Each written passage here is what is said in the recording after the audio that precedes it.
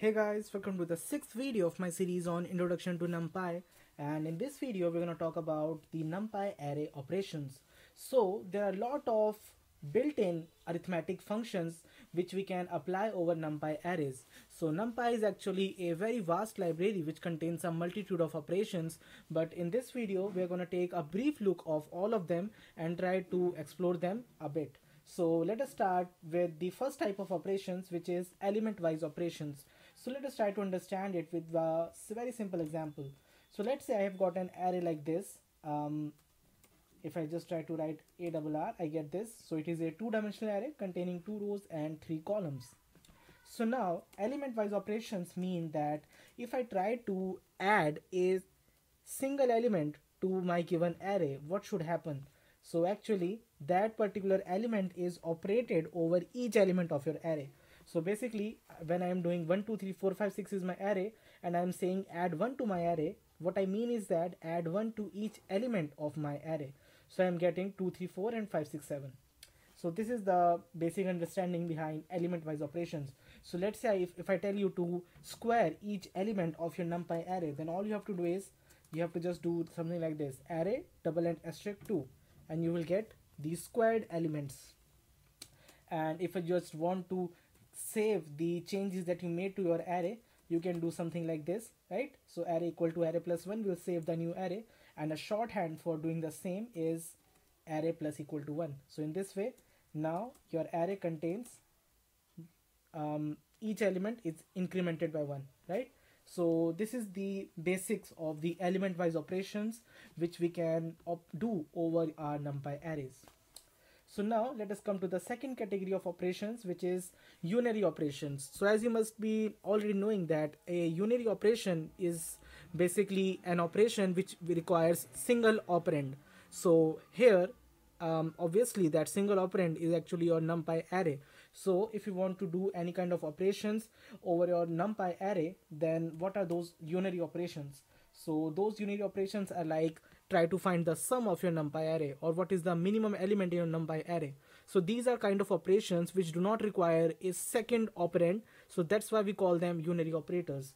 So now if my array is something like this and I try to say array dot sum then what do I get? I get 27 which is simply the sum of all the elements in my list.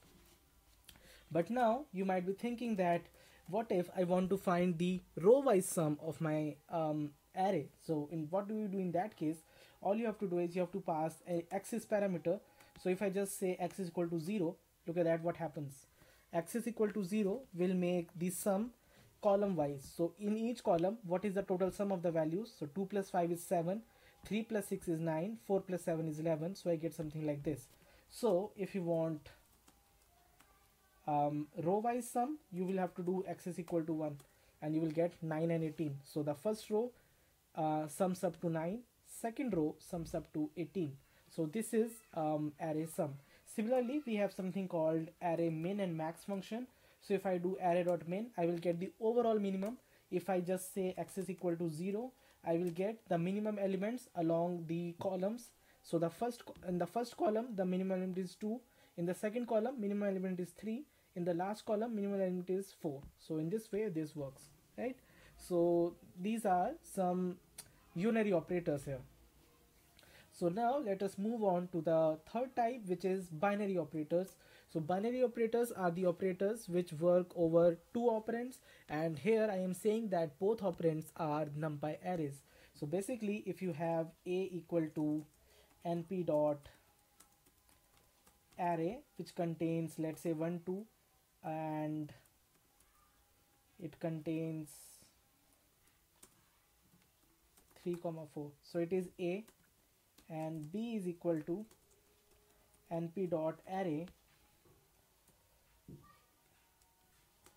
B is equal to np dot array which contains 5 comma 6 and 7 comma 8 so these are two arrays which have the same shape then in that case if I do a plus b then what should happen?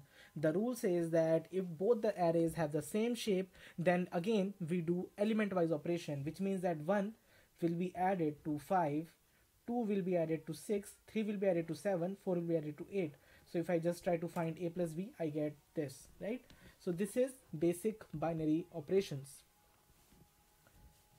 Now let us move on to the next part which is universal functions.